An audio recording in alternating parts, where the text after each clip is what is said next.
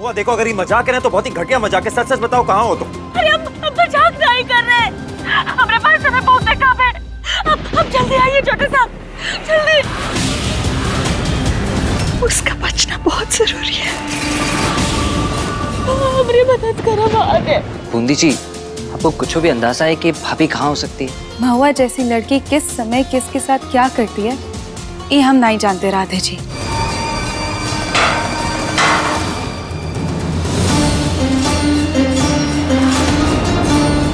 जिसके लिए ये सब मांग रही है। का वो इसके लायक भी है।